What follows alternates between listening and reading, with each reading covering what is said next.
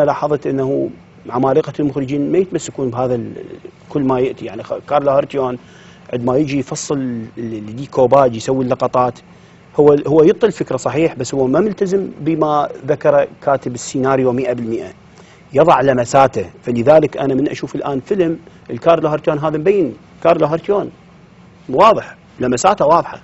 محمد خان هذا الفيلم أول ما أباوع. خمس لقطات من عنده أعرف إنه هذا الفيلم لمحمد خان مثلا مواد على العشاء أو زوجة رجل مهم مبين واضح لأن لمساته موجودة. ليش؟ لأنه هو محمد خان هو كتب السيناريو أيضا. ذولا المخرجين العمالقة ما يكتفون إنه يخلي هو يصبح كاتب سيناريو يضع سيناريو آخر غير هذا السيناريو. فهنا عنصر الخيال يلعب دور كبير. أيضا هناك يعني صفة أنا في تقديري على المخرج أو الكاتب السيناريو إنه يعني المعايشة الميدانية. إن انت شلون تقدر تتعايش ميدانيا مع الحدث؟ الآن إحنا عندنا حدث على سبيل المثال خلينا نقول عن قصة من قصص بغدادية أو أنا الآن مع حمود الحارثي الله يعطيه الصحة والعافية أستاذنا الكبير. آه، دا أفكر ان نسوي آه، فيلم اسمه طيارات. آه، جبت اني هذه الرواية هو الأستاذ منير عبد الأمير الله يعطيه الصحة والعافية اعطاني اياها الرواية. الآن أنا من ردنا نحولها إلى سيناريو. أنا فكرت بالسيناريو. يعني اتطلب من عندي إنه أروح إلى الحارات البغدادية أشوف يعني رحت بعض المناطق بالكفاح بالصدرية بالفناهرة أبو دوده وأبو سيفين هذه المناطق اللي هي بها خصوصية. فأنت من تتعايش بهذا المكان راح تشوف بعض التفاصيل تكتبها بالسيناريو مالتك تعطي جمالية غير ما أنت بس متوقعها أو سامعها أو قاريها أو فهنا أيضا تدخل. أكو أيضا صفة أخرى مهمة جدا. هاي طبعا أستاذنا العملاق الله يرحمه المخرج الكبير مصطفى العقاد. أنا اللي أعتبره يعني واحد من يعني جهابذة العصر اللي يخرج فيلم الرسالة هذا الفيلم الإنساني. اللي ما يعني ما صارت السينما يعني آه، آه، ولا لا قامت ولا قعدت إلا في هذا الفيلم. أنا في تقديري بمضمونة وب يعني موضوع الإنساني هذا المخرج. فالمخرج مصطفى العقاد يقول هنا يعني على كاتب السيناريو أن يعرف صنعة السيناريو. هناك صنعة. يعني مهنة مهنة مهنية. أنه متى يقطع؟ كيف يقطع؟ شلون أنا أخلي المؤثر الصوتي؟ شلون أخلي مؤثر الصوري هنا؟ ليش أقطع بهذا المشهد ما أقطع؟ الانسيرتات شلون الرياكشن أنا شلون راح أخليه؟ شوف الأفلام الأمريكية يعني متكاملة. ليش؟ ما عندهم لقطات مطولة كل لقطة طولها ست سبع دقائق مثل بعض المسلسلات العربية والمسلسلاتنا يعني طلعك وكانه مسرحية. لقطة عامة وظل استمر لا هناك أكو تقطيع. يعني القدرة على التقطيع. هاي من أولى ومسلمات وبديهيات كاتب السيناريو. اغلب الكتاب للأسف ما ما يخلوها.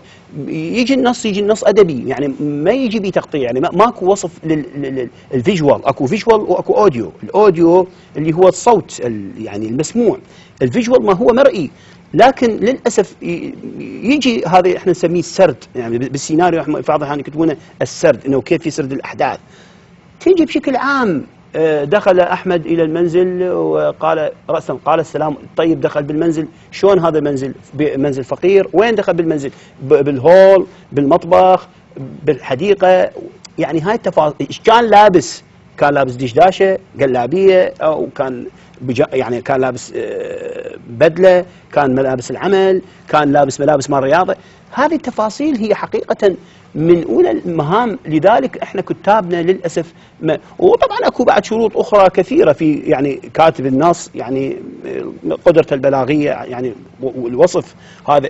أهم أسئلة هذه يسموه ديسكريبشن إنه أنت شلون تكون أنت عندك قدرة على الوصف. كان آه، شاعرنا الكبير المتنبي يعني كان من أبلغ الشعراء يعني ليش كان عنده قدرة على الوصف؟ نعم ما زلنا في السيناريو وكتابه السيناريو. هل هناك شكل ثابت لكتابة السيناريو والنص؟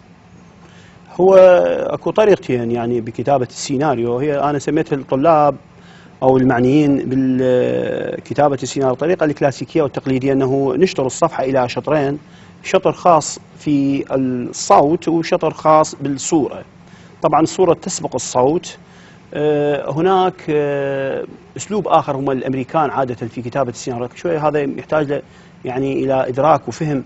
يمكن طالب راح يعني يكون عسر في فهم هذا الأمر. لذلك أنا حتى من خليت بالكتاب آه، استعانيت بالطريقة الكلاسيكية التقليدية. إنه نقسم الشكل إلى نصفين ومن ثم نحاول ما نسمعه في الأذن اللي هو الصوت اللي هي عناصر سبعة يمكن معروفة هي الحوار والتعليق والموسيقى التصويرية والصمت والحوار الداخلي والأغنية أيضا تدخل ضمن هذا هذا.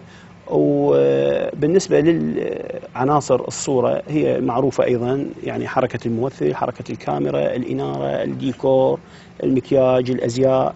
هذا هي الأمور إذا قدرنا إحنا يعني نحاول أن نصنفها نسوي لها تصنيف بالورقة اللي حتى تتحول إلى سيناريو راح يكون أنا أعتقده يعني آه، نص آه، متميز ممكن أن يدرك كل من هم معنيين بالإنتاج. طبعا هناك أيضا آه، علينا أن نحدد في بداية الأمر نحدد إذا كان المشهد ليلي أو نهار. أنا أيضا هاي أقولها لطلابي من أجل إنه أبو الإنارة يعرف إيش قد راح يحتاج إنارة. مثلا يجيب 50 كي في يعني كم إيش قد راح يحتاج diffuser ات umbrella ات راح يحتاج إلى فلاتر للإنارة إيش قد كهرباء يحتاج لربما في مكان نائي أو مكان بعيد. أيضا أبو الصوت راح يعرف من إحنا راح نصور بالليل إلى دوره. كذلك آه، مدير التصوير حتى يتهيأ يكون آه، ملم بهذه الأمور، الممثل أيضا يدرك إنه الأداء في الليل غير النهار، كذلك علينا أن نحدد مثلا إذا كان التصوير داخل الاستوديو أو خارج الاستوديو، اذا كان موقع يعني خارجي أم كان داخلي، في بعض الأحيان إحنا داخل الاستوديو بس نعطي حديقة نقول هذا خارجي.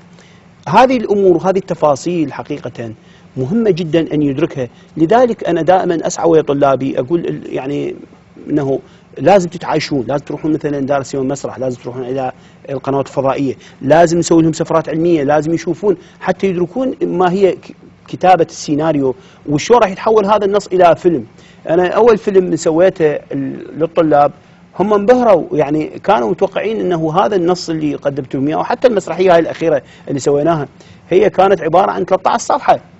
لكن عندما عرضت على المسرح وشافوها وشاهدوها ما توقعوا انها هاي فقط 13 صفحه أصبحت عرض طوله 50 دقيقة حضروه أكثر من 2000 شخص أكثر من 30 أو 40 قناة فضائية غطته قناة يعني إضافة إلى صحف ومجلات و websites تناولته. كله بنص طوله يعني يعني لا يتجاوز 13 آه، صفحة. أنا آه، في تقديري آه، يعني هذه الأمور هي لربما تكون شكلية إلا أنها غاية في الأهمية لكي تكون تقاليد للعمل الفيلمي أو العمل السينمائي أو العمل التلفزيوني أو الإعلامي. دون هذه الأمور تصبح فوضى يصبح العمل آه، غير صحيح. وهناك آه، يعني مواقف كثيرة تسجل آه، ضد هذا العمل فيما لو لم يتبع هذه الشروط أو هذه أنا أسميها دستور دستور العمل. يعني هو هو السيناريو أساسا. البعض يسميه إنجيل. يعني يقول لك هذا ما يتغير. أنت من كتب السيناريو خلاص. إحنا ما ممكن فلذلك أنا أعتقد إنه لابد أن نضع شكل محدد حتى يصبح سيناريو. وإلا إذا ما ميزناه عن هذا الأمر وما خلينا به سرد ووصف لهذه الأمور ممكن يصبح أي رواية أو ممكن يصير أي قصة وماكو داعي بعد أساسا للسيناريو. فلذلك لازم نتمسك بالشكل.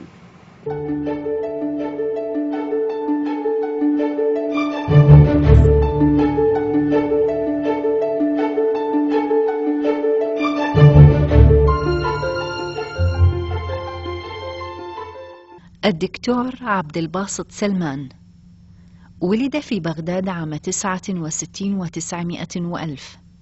حاصل على بكالوريوس وماجستير ودكتوراه في الإذاعة والتلفزيون والسينما كلية الفنون جامعة بغداد. أكمل ما بعد الدكتوراه في الإعلام الرقمي بالجامعة الأمريكية في القاهرة وتعد أعلى شهادة علمية بعد الحصول على الدكتوراه. وحصل على لقب أستاذ مساعد. حصل على لقب بروفيسور مساعد في جامعة بغداد عام 2005 نال العديد من الجوائز في المهرجانات العالمية والمحلية والعربية. عمل مخرجا في تلفزيون العراق للبرامج الثقافية. عمل أستاذا جامعيا في كلية الإعلام جامعة بغداد ومستشارا إعلاميا للحركة العالمية الكشفية.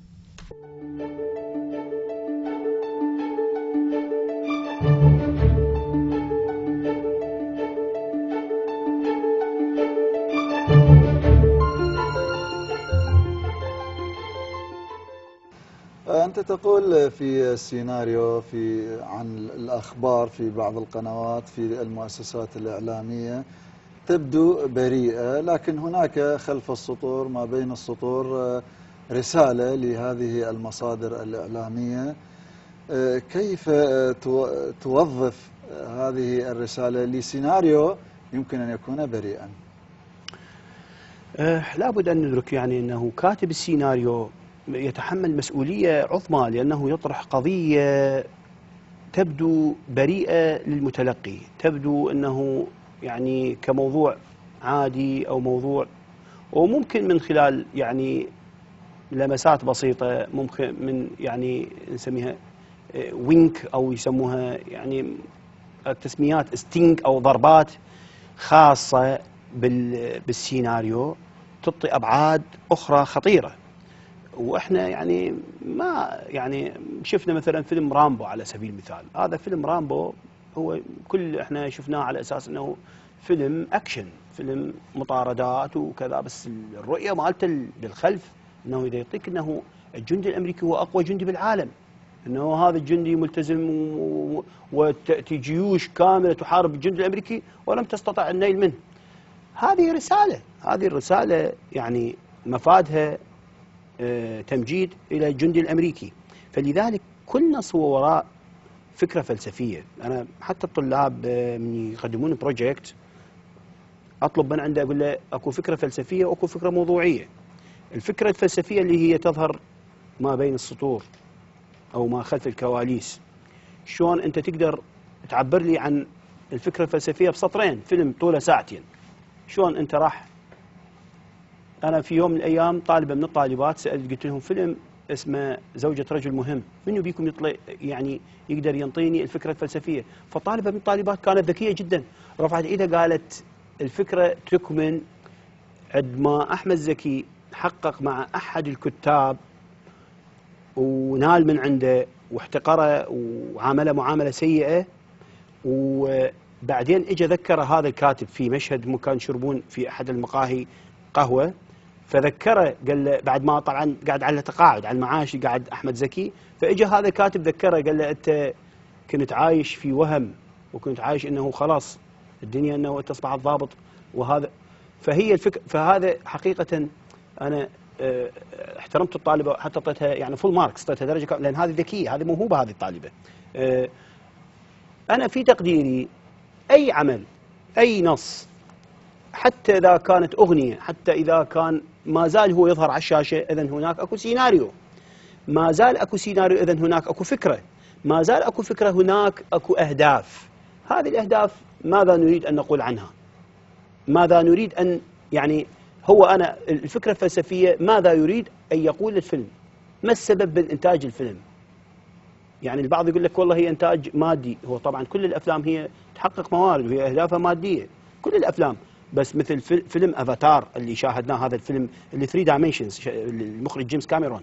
هل معقول إنه كان يعني هذا الفيلم فقط أهدافه اقتصادية؟ لا هناك أبعاد سياسية كثيرة. لا يفقهها ولا يعني ما ممكن أن يركز عليها أو إلا هو معني في الفيلم السينمائي. فلذلك المشاهد أو المتلقي العادي ما يدرك هذه الفكرة. تمر مرور الكرام لكن هو يتطبع معها. ومن ثم بعد هذا التطبع هو يبدو يتحول. فلذلك نشوف الآن تهميش لبعض الحضارات أو تهميش لبعض الثقافات اللي هي نادت بها الجلوباليزيشن أو العولمة. هي ما هي العولمة؟ يعني هي هو العول إنه أنت شلون تقدر تصادر بعض الثقافات وتجيرها لصالحك أو أو العكس أن تفرض ثقافة خاصة بك هو أنا أنا حسب يعني ما فهمت العولمة. هي هذه اذا السيناريو اذا هو أفضل وأسهل الطرق لتحقيق العولمة لتحقيق التغييرات أو الأيديولوجيات أو أو أو الأفكار أو ما نريد أن نقوله. نعم إذا بماذا تتميز النصوص الناجحة في السينما أو التلفزيون؟ النصوص آه، عادة يعني تحتاج إلى قدرات وإمكانيات من كاتب النص لكي تكون ناجحة. أولى هذه الأمور يعني أنا أقولها وأظل أكررها هو الوصف. قدرة الكاتب على أن يوصف كثير من الأمور. هذا الديتيلز حقيقة يشكل آه، يعني رؤية متكاملة إلى المخرج. المخرج طبعا راح يضع بصمات أخرى راح يضع رؤية أخرى غير هاي الرؤية اللي هو كاتبها. يعني ممكن يتناول الفكرة بس يضع أمور أخرى كثيرة في العمل. باختيار الممثل أو اختيار حجم اللقطة أو كثير من الأمور هو يقدر يلعب بها ال... بس هذه التفاصيل قد ما زادت بالسيناريو إيش قد ما العمل أصبح متكامل وأصبح ناجح. هذا جانب. الجانب الآخر أنه النص أيضا يحتاج إلى تقطيع. أنا ما من غير المعقول أخلي مشهد متكامل بست صفحات بدون ما أذكر مثلا وجهة نظر فلان أو الرياكشن الخاص بفلان أو مثلا هو كان يعد بالفلوس شلون كان هذا وجهة نظره دولة سو اثنين كانوا يراقبونه هاي كلها أمور ما ممكن يدركها إلا كاتب السيناريو. لذلك وضع مثل هذه التقطيعات داخل النص أنا أعتقد أنه هي آه، تكون أيضا من الأمور المهمة. أيضا النص الناجح هو من يطرح قضية ناجحة قضية مؤثرة قضية موضوعية قضية تهم المجتمع.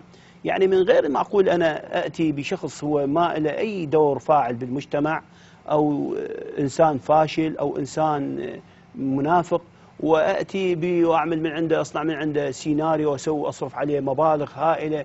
وبالتالي يعني لم يستفد منه المتلقي.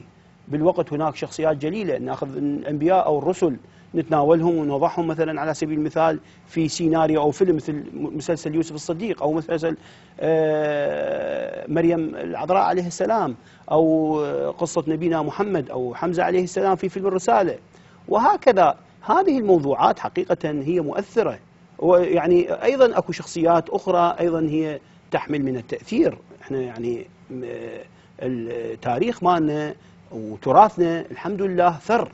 يعني عندنا مثلا آه، شخصيات مثلا ناخذ شخصية نبوخذ نصر أو شخصيات تاريخية قديمة أو من هم الرسل أو آه، الأولياء الصالحين أو آه، يعني من هم في العصر الحديث الآن؟ أكو عندنا أيضا شخصيات فذة أنا أعتبرها. يعني مثلا الآن لاعب مثل فلاح حسن هذا اللاعب مهم.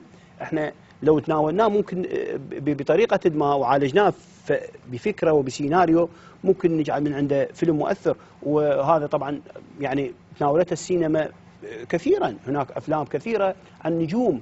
مثلا آه، فيلم عن آه، غاندي. شفنا إحنا فيلم مهم بن كينجز اللي أخذ الدور ومثله وأصبح بالتالي أحد علامات السينما المهمة. أيضا هناك يعني موضوعات أخرى تتناول حكايات ومواضيع منها النقد البناء. إنه أنا بالسيناريو علي أحاول جهد الإمكان أن أطرح قضية تخدم المجتمع. يعني قلنا أن الهدف هو الأساس من الفن أو الإعلام هو التطهير تطهير المجتمع. كيف إحنا نخلق مجتمع صحيح مجتمع خالي من السلبيات؟ نحاول بجهد إمكاننا أنه نبعث الطمأنينة والاستقرار لكي يبدع الآخرين ومن ثم ينعم الإنسان بإنسانيته وينشرها على الكون. هذه حقيقة هي جملة من الأمور اللي إحنا لابد أن يعني نخليها أمام أعيننا عندما نكتب النص حتى يكون النص ناجح.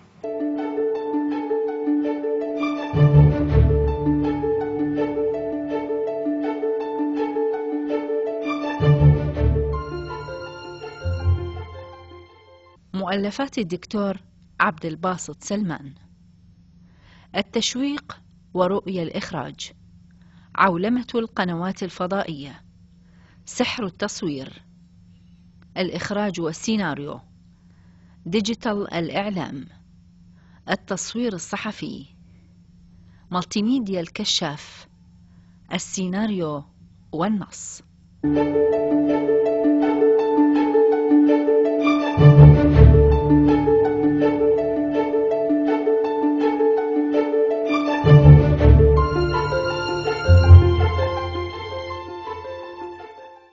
دكتور عبد الباسط هل هناك أهمية لمعرفة التقنيات الحديثة في كتابة السيناريو؟ حقيقة أحد الأسباب اللي يعني ما قدرت أذكر لك إياها في بادئ الأمر لتأليف هذا الكتاب هو التقنيات. التقنيات تتغير يوم بعد يوم. آه، هناك آه، nano technology. هذا ال nano technology غير معالم الكاميرا. يمكن الكاميرات الآن نحن نصور بها أصغر بكثير من كاميرات السبعينات أو الستينات. طريقة طرح ال- الموضوع حتى حضرتك آه، أسلوب الفضائيات كله تغير مع تغير التكنولوجيا. الآن أكو الهولوجرام يعني الآن ال CNN ما تجي لقاء إنه تنقل كاميرا لا. آه، يأتي الشخص هو داخل الاستوديو ومثلا على سبيل المثال هو في ولاية فرجينيا والشخص المستضاف هو في آه، أستراليا أو مثلا هو في آه، واشنطن. يأتي آه، ال- الشخص بطريقة تكنولوجية يسموها الهولوجرام من خلال تصوير ال three dimensions ثلاث كاميرات تسلط عليه وبإنارة خاصة ويصبح الضيف داخل الاستوديو.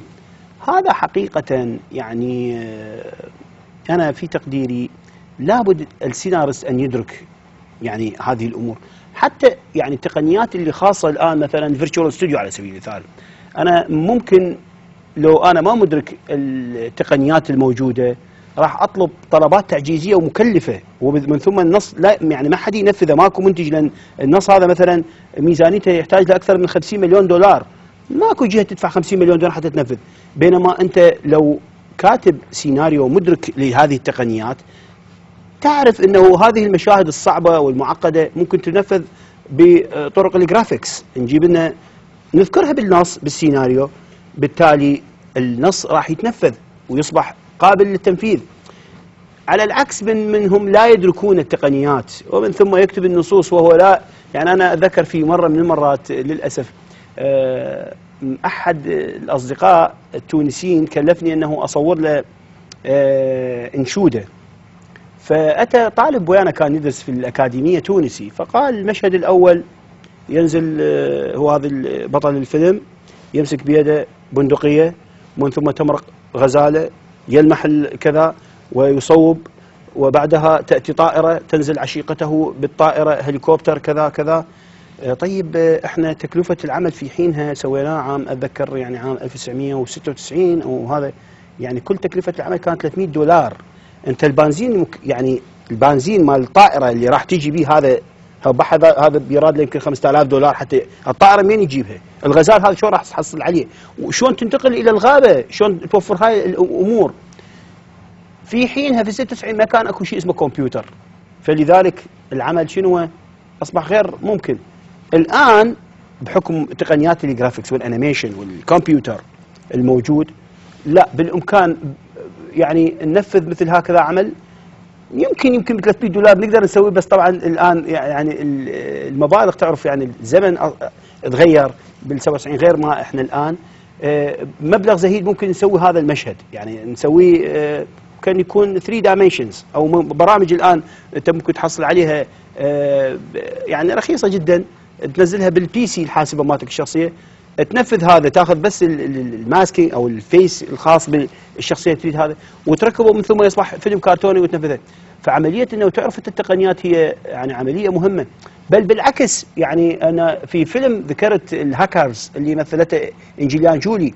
هذا بالفيلم أكو بتقنيات شلون آه، آه، يعني آه، دخول من من خلال ال networks. شلون استطاعوا يتحكم في هذه المبنى أنه خلى ال- الأجهزة الخاصة بالأطفاء مال المي يعني تحكم بها عبر الإنترنت دخل على المنظومة مال البناية وهو مشهد كوميدي يعني مشهد إنه قال لها اليوم راح تمطر الدنيا. فاجى الطالب هم ذول الهاكرز يعني هم ذول ال- ال- اللي يخترقون المواقع الإلكترونية اجى جابوا umbrella مظلة. فقالوا له جو اليوم ماكو مطر ليش جاب ال umbrella؟ فهو وقت بالبيت إنه الساعة ب 12 بالضبط آه، راح تدخل على المنظومة وقتها إنه هذا المياه اللي تنزل مال الحرائق ماكو حتى آه، آه، تنثل المياه وقتها ب 12 وبالتالي قبل ما تصير ب 12 إلا دقيقة فتح الشمسية ب 12 بالضبط الكل وقع عليهم المي وهذا اللي حامل الشمسية آه، حمى نفسه لأنه عنده شمسية هذا فصار ضحك. هذا الأمر إذا كاتب السيناريو ما يعرف شنو network ما يعرف شنو إنترنت ما يعرف شنو اتصالات ما يعرف شنو هاي المنظومة الموجودة هاي التكنولوجية داخل البناية ما ممكن أن يكتب أي آه، سيناريو. بل إنه جيمس بوند على سبيل المثال في كل أفلامه يوفر تقنيات حديثة. مثلا في فيلم The World Is Not Enough نشوف هو مثلا الخصيم الخصم أو الغريم ال- البطل آه، حرق ال- الطريق والممر النهري أمامه ودخل بعد جيمس بوند ما راح يقدر يلاحقه أو يطارده. فجيمس بوند آه، دخل على ال GPS عبر طق طق طلع مكانه وطلع آه، قناة أخرى ممكن أن يلاحق ويطارد ال- الخصم. هذه التقنية لو لم يعرفها كاتب السيناريو كيف سيكون الفيلم؟ بالتأكيد هناك اطلاع وإدراك لهذه الت- التكنولوجيا حتى يقدر يسخرها في ال- الفيلم. كذلك هو الحال مع الفيسبوك أو ال- ال smart phone أو آه، BlackBerry أو آه، كل هاي ال- ال- التقنيات الحديثة أنا لازم أعرفها ككاتب سيناريو حتى أتماشى مع العصر. وإلا تصبح الأعمال يعني متأخرة ومتقادمة. ومن ثم حتى هو المتلقي الآن أصبح غير متلقي قبل 20 أو أو 50 أو 60 سنة. يعني على سبيل المثال أنت إذا ما تعرف شنو السيناريو هاي التكنولوجيا السيناريو يعني أي أي عربة الآن سيارة أو أو أو صاروخ أو طائرة إحنا إذا ما ندركها هاي تكنولوجيا هي. إذا ما ندركها شو راح نكتبها بال- بال- لو أنا على عقليه مثلا عام 1920 ما كان أكو طائرات نفاثه ما أكو طائرة هليكوبتر ما أكو مثلا هذا ال- المرور السريع ال- ال- الإكسبريس أو فلذلك أنا في تقديري المواكبة لهذه التطورات هي ما راح تحفزنا لأن نكتب آه، أمور وأسرار جديدة المتلقي هو بحاجة أن يعرفها لأن هو السيناريو عبارة عن أسرار. أنت شنو أنت على سبيل المثال الآن مباراة كرة القدم أنت تعرف النتيجة مالتها وشايفها. ما راح تشاهدها. ما راح تشاهدها لأن يعني عنصر التشويق بها انفقد فلذلك أنت لازم تخلي مجموعة من الأسرار بالفيلم وهذه الأسرار هي ما تحملها التكنولوجيا من أسرار. بالتالي من تطلع عليها أو تتناولها في فيلمك يتعاطى معها المتلقي ومن ثم يتمتع بها ويصبح عنصر التشويق موجود في العمل.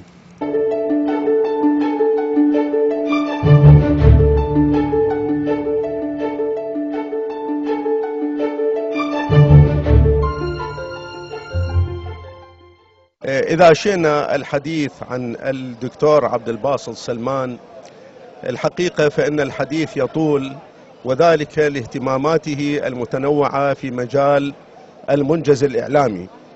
وقد اتجه اتجاهات شتى في تناول موضوعة الإعلام وفق النظريات والاتجاهات الحديثة ونظر لها كثيراً. وبين أيدينا كتاب السيناريو والنص وهو من الكتب المتميزة على المستوى العلمي والإعلامي لأنه تناول فيها كل مجالات الإعلام وتناول موضوعة السيناريو وموضوعة معالجة النص. والحقيقة هذا المنجز آه، يتميز بكونه آه، منجزا يتناول العمق في هذه الموضوعة على المستوى الإعلامي والاتجاهات الحديثة.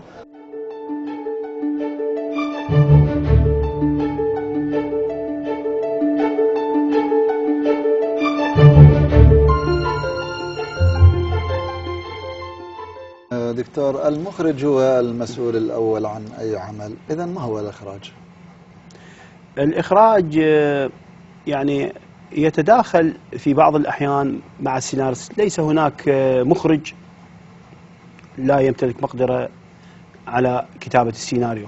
كل مخرج هو سيناريست دون استثناء.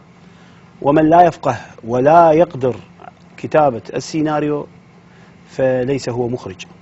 لكن آه، طبعا المخرج الآن يعني بحكم عمله وبحكم آه، قدراته وأفكاره البناءة وخياله اللي هو أوسع من خيال السيناريست في بعض الأحيان آه، يضع لمسات أخرى جماليات. يعني أنت تكتب النص النص لربما مهما بلغ من التفاصيل ما ممكن أن يتحول إلى الواقع بدون مخرج. المخرج هو راح يحدد الحركة. تزامن هذا التزامن ما ممكن السيناريست يحدده مهما كتب من تفاصيل. المخرج راح يحدد طبيعة اللقطة الإيقاع إيقاع العمل شلون راح يكون. الضربات الموسيقية أين ستكمن؟ المؤثرات. حركة الممثل كيف ستصبح سنكرونانس مع مشهد آخر سيكون بعد هذا المشهد بالتمام. كثير من الأمور هذه التفاصيل يدركها المخرج ويحققها بعمله من خلال. آه، لذلك إحنا نلاحظ آه، يعني كبار المخرجين دائما هم يساهمون في كتابة السيناريو. يعني إذا مو هو بالأساس هو كاتب السيناريو فرانسيس فورد كابولا أغلب أفلامه هو يعني عنصر فعال في السيناريو. صح لربما يشارك أو يساهم مع بعض الكتاب. حتى مصطفى العقاد بأفلامه كلها اللي اللي أخرجها هو هو كان آه، مساهم في كتابة السيناريو. النصوص حقيقة لربما بحكم أنها تاريخية أو طرازية خاصة أو تأتي مثلا من دوائر مخابرات أنه دولة من الدول تريد تسوي فيلم عن إمكانياتها أو تطرح عضلاتها تريد تسوي هذا الفيلم. فت يعني تأتي برواية بحجة أن هذه الرواية هي رواية كتبت في السابق وليس الهدف منها أنه إحنا نسوي فيلم خاص عنا نستعرض به عضلات الجيش مالنا أو عضلات المخابرات أو الأمن أو الجندي مالنا أو المجتمع. وهكذا يعني هذه الأفلام. هنا المخرج راح يلعب دوره الفعال. كيف يستطيع أنه يجسد أو يعرف الفكرة بالأساس ويسلط الضوء عليها ويشيل كل الترهلات حتى توصل الفكرة بشكل سلس دون أي تكلف. دون أي نوع من المبالغة أو الإطناب لدرجة أنه المتلقي يشعر بالتمام أن ما يحدث أمامه هو واقع وحقيقة. هذا دور المخرج. هذا المخرج هو المسؤول الأول والأخير عن كل هذه التفاصيل. أكو هناك أمور تقنية حتى أكو أمور يعني إنتاجية هو مسؤول عنها. يعني هو القائد الأول والأخير المخرج. يعني حتى ميزانية العمل يتدخل بها يعرف أنه إيش قد هاي راح تكلف وشلون أمور عديدة. الإنارة هذا إذا مدير الإنارة أخطأ لازم المخرج هو يحدد له يقول له لا أنا أريد كذا وكذا. لذلك المخرجين العمالقة يعني صعب أنه تجد آه، كل شخص ممكن يشتغل وياه. إلا المبدعين إلا من هم يعني عمالقة بحجمه يلا يقدرون يعملون وياه. فتشوف آه، آه، كتاب السيناريو اللي يتعاملون مع المخرج. مثلا خلينا نقول على سبيل المثال ستانلي كوبريك. ستانلي كوبريك عندما سوى هذا الفيلم صعود الإنسان إلى القمر لصالح المخابرات الأمريكية وكذبوا على العالم في حينها وقالوا إنه أول إنسان صعد على القمر والمخابرات الروسية عرفت أكاذيبهم وطرحت الكي يعني الكي جي بي تفاصيل هذه الأكذوبة على العالم وقالت هذه حقيقة يعني آه، ما كان ممكن واحد يقدر يسويها غير ستانلي كوبريك لأنه هو سوى فيلم اسمه البرتقالة الميكانيكية في في البدء. ومن ثم آه، لاحظوا عنده قدرة على الخيال هذا ال science fiction الخيال العلمي شلون الإنسان يصعد فوق القمر وشلون تط... فاستعانت به المخابرات الأمريكية أن يسوي هذا الفيلم. بس من سووا السيناريو. السيناريست لا يمكن أن يصل إلى مخيلة ستانلي كوبريك. يعني هو حتى رامسفيلد اشترك في هذا الفيلم يعني من ضمن اللي اشتركوا وضباط بالمخابرات الأمريكية هم ساهموا في كتابة هذا السيناريو. لكن الرؤية لستانلي كوبريك هي بقت هي الرؤية الفريدة والأخيرة. صح هو استعان لربما بآراء بعض المتخصصين أو الخبراء أو من هم معنيين في السينما والتلفزيون. لكن بقت الرؤية والثابة أو الرؤية الخارقة لستانلي كوبريك بدليل أنه أقنع العالم حتى هذا اليوم مقتنعين أنه صعود الإنسان إلى القمر هو حقيقة وليس فيلم من صنع خيال ستانلي كوبريك أو المخابرات الأمريكية.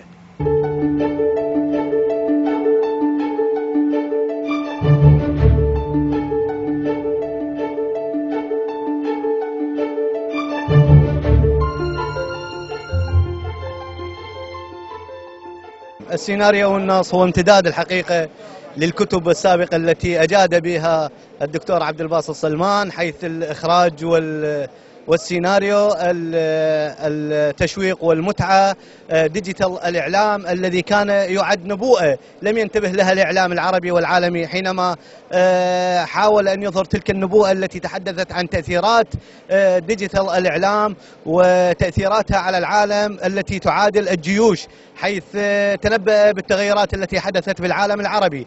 الحقيقة السيناريو والنص كتاب هو يحمل روحية عبد الباسط سلمان التجددية الإبداعية الابتكارية التي أراد أن يقضي على نمطية النمطية التقليدية للإعلام السائدة في الإعلام العراقي من خلال آه، ما جاء به من آه، من مصطلحات لا سيما بالنسبة لل docu آه، drama وال docu fiction الذي حاول أن يمزج بين الدراما الحدث الإعلامي والتوثيق ويمزجه بالقصة وهذا الحقيقة أشياء جديدة غير مطروقة بالإعلام العراقي وهي تنطي روحية للإعلام يوازي الطموح ويوازي التغيير الذي حدث بالعالم من الناحية التقنية ومن الناحية الأدبية ومن الناحية آه، آه، المعلوماتية التي غطت العالم.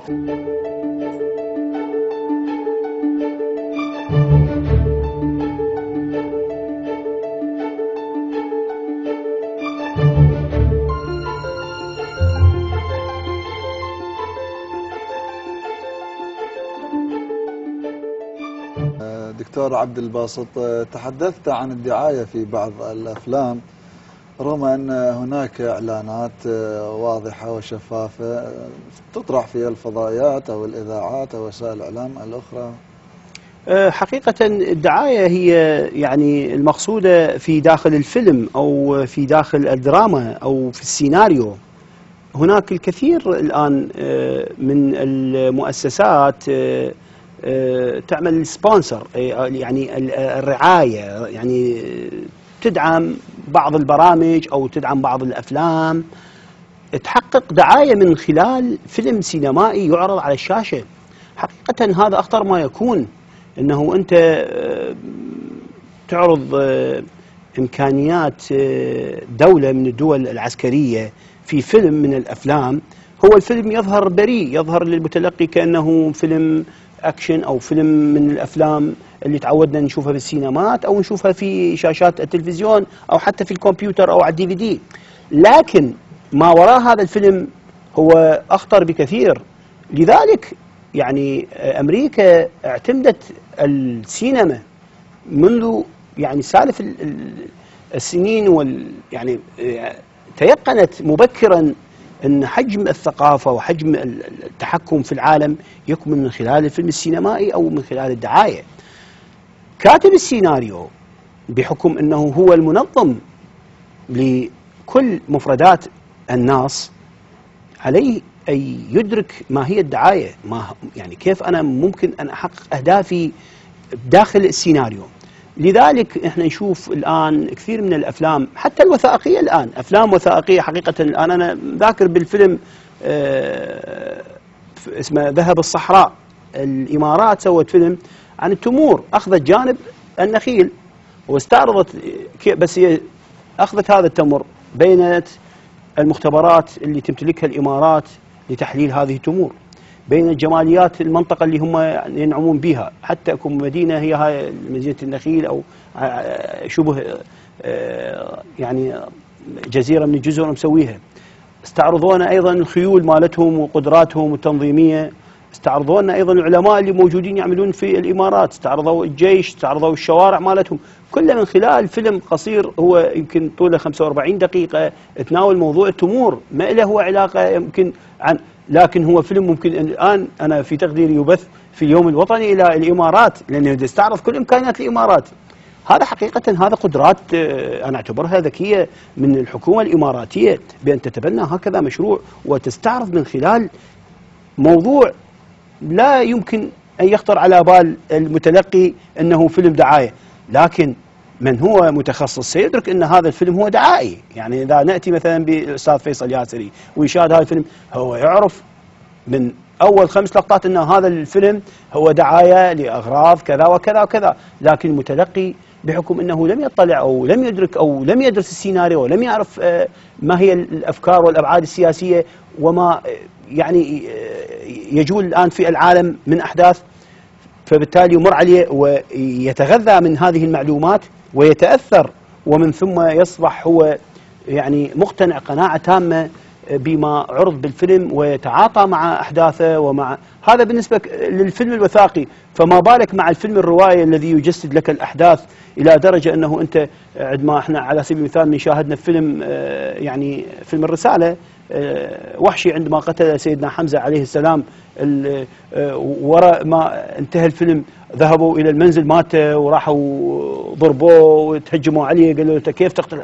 مقتنعين إنه هو فعلا قتل حمزة عليه السلام. بالوقت هو بالفيلم قتله ليس بال يعني وكذلك الحال مع عبد الله غيث. كثير الآن من نسائنا أمهاتنا أو أجدادنا أو آبائنا أو إخواننا من هم شاهدوا هذا. عشقوا عبد الله غيث حبا بشخصية حمزة عليه السلام. يعني تصور أنه هذا عبد الله غيث هو فعلا هو حمزة الحقيقي. إلى درجة إنه تعاطفنا وياه وهكذا يعني. هو هذه السينما هي هذه هذه يسموه الانترتينمنت يعني ال ال ال الإمتاع وكيف إنه تخلق الترفيه للمتلقي بذكاء. فهي مجموعة من الخدع مجموعة من الأساليب مجموعة من الطرق.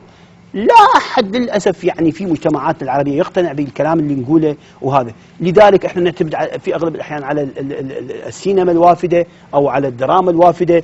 ويتلوث مجتمعنا ببيئة أخرى غير يعني أنا حتى من شاهدت على سبيل المثال آه، مسلسل أبو طبر اللي انعرض آه، في رمضان الماضي. يعني للأسف آه، الحارة ما كانت حارة عراقية البيئة ما كانت بيئة عراقية ما كان السيناريست أبدع في كتابة السيناريو لكن المخرج عندما نفذه في سوريا اتضحت كثير من الأمور. يعني استكان الشاي ما كان موجود هذا هذا هذا مو بالعراق. يعني نجيب لك ياكوب الملابس الشوارع الأزقة الأرصفة حتى الباحات داخل البيوت ما كانت هيك بيوتنا. فكثير من التفاصيل والديتيلز هذا للأسف هذا كله دعاية. هذه الدعاية يعني للأسف جيرت لصالح سوريا ما جيرت لصالح العراق. إحنا اعتزازنا بسوريا بلد شقيق. نعم بس إحنا أيضا كمجتمع عراقي بحاجة إنه إحنا نتغذى أن نعيش نشوة البيئة العراقية النكهة العراقية.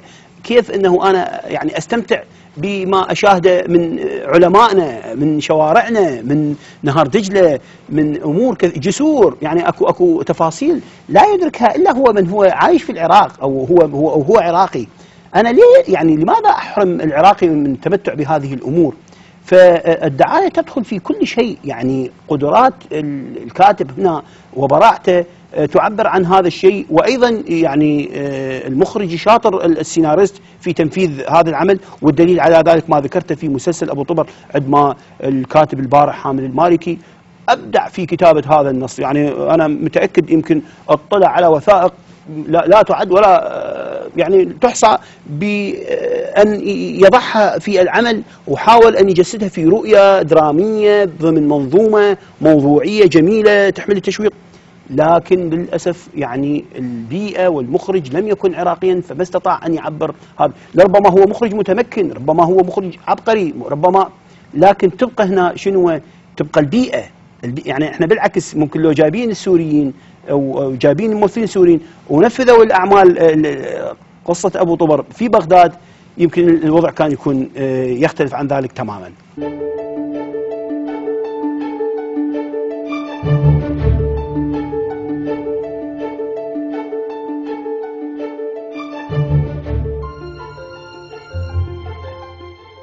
حقيقة أعرف دكتور عبد الباسط من كنا الزملاء في الجامعة آه، شاب دؤوب ومبتكر ويبحث عن كل ما هو جديد. وأعتقد إنه هذا الكتاب به كثير من الفصول الجديدة آه، على المكتبة العربية فيما يتعلق بعلم آه، السيناريو. فالدكتور عبد الباسط يبدأ بتناول السيناريو التقليدي المعروف ثم يدخل إلى عالم الديجيتال والعلاقة بين السيناريست والمخرج. حقيقة أنا اعتبر هذا الكتاب إنجاز مهم. في المكتبة العراقية الفنية والمكتبة العربية بصورة خاصة وأعتقد هو ثمرة جهد آه، طويل. قام الدكتور عبد الباسط بتكريس حياته إلى من كان عمره 18 سنة إلى اليوم. يعني أعتقد أن هذا كتاب مهم يجب أن يكون في مكتبة كل من يشتغل في الدراما مخرجا ممثلا كاتبا.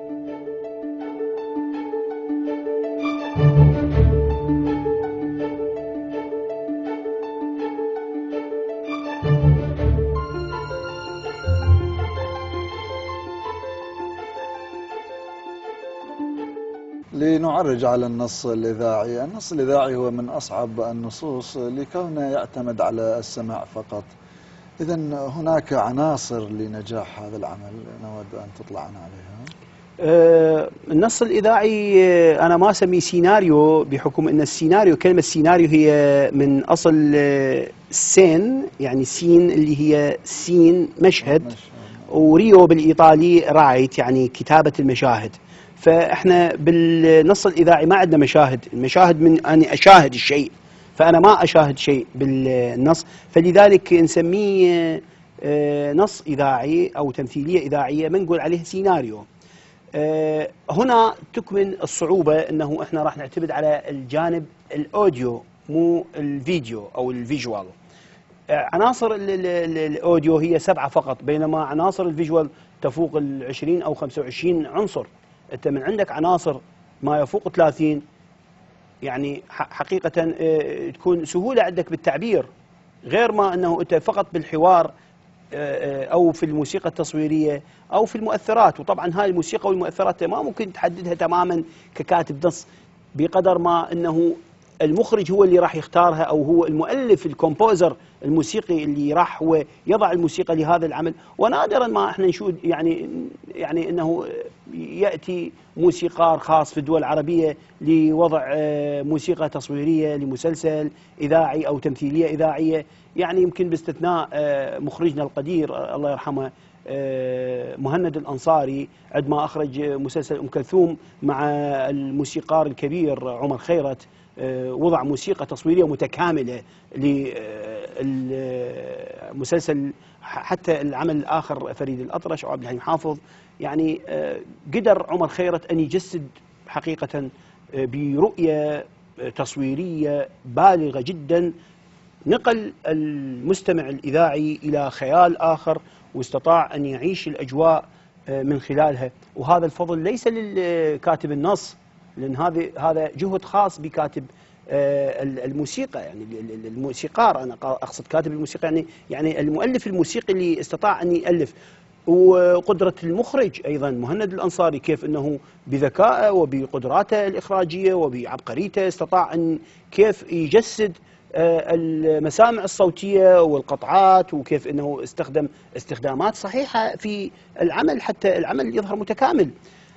هنا يعني آه، آه، دور كاتب الناس عليه آه، يتمتع بقدرات خيالية واسعة، أنه يستخدم مفردات ما تحتاج إلى تفسير أو تعقيد للفهم، انت راح تسمع الحوار والحوار راح يأتي بعده حوار آخر، فإذا ما فهمت هذا الحوار راح يتعكر فهمك حتى باللي ما بعد الحوار الثاني والثالث والرابع وهكذا. شكرا جزيلا. إذا أحبتي مشاهدي قناة الحضارة الفضائية هكذا وصلنا بكم إلى نهاية حلقتنا لهذا اليوم من برنامج هكذا كتبوا. تقبلوا تحياتنا والسلام عليكم ورحمة الله وبركاته.